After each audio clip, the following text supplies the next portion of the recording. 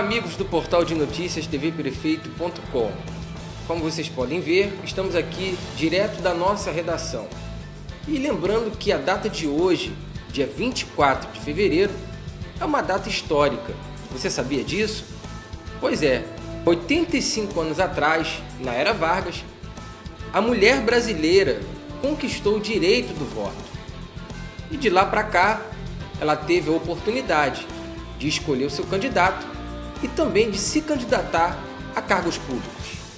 Como vocês podem ver, hoje já existem vereadoras, deputadas, senadoras, prefeitas, governadoras e até mesmo a presidente da República, a nossa nação já teve oportunidade.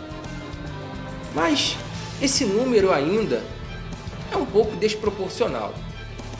Mesmo com a mulher ganhando cenário cada vez mais na política e no mercado de trabalho, como também podemos observar é, profissões antes que eram do universo masculino e hoje a mulher já consegue é, se inserir nesse mercado, como por exemplo motoristas de ônibus, engenheiras, policiais. Fica aqui uma pergunta: será que existe ainda um preconceito contra a mulher na política e no mercado de trabalho?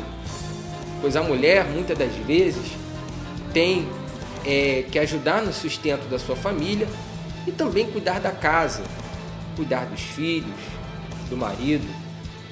Então, faz 85 anos que a mulher conquistou o direito do voto e assim ela pôde é, se ingressar cada vez mais no cenário político, como também no mercado de trabalho.